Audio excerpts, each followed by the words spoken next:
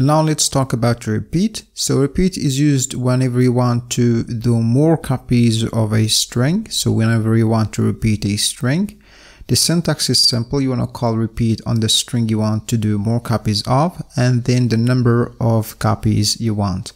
So this is called count. Now let's see some examples. So I have here a string ABC. I'm going to call repeat. I'm going to pass in uh, 0 as the count here. This will return an empty string. Now if I go and call abc.repeat with count equals to 1, this will return abc repeated one time. Now if I call abc.repeat with 2, this will return a string with two copies of the original string. By the way, repeat doesn't change the original string, it returns a new string. And now if I call repeat with 3.5, repeat will convert this number to an integer, so this will be 3. So the ABC here string will be repeated 3 times.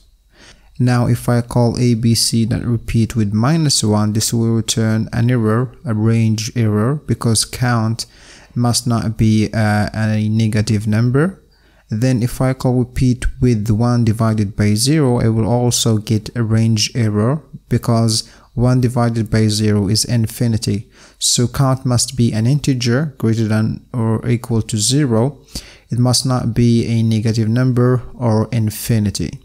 And that's it for repeat. Now let's move on to the next method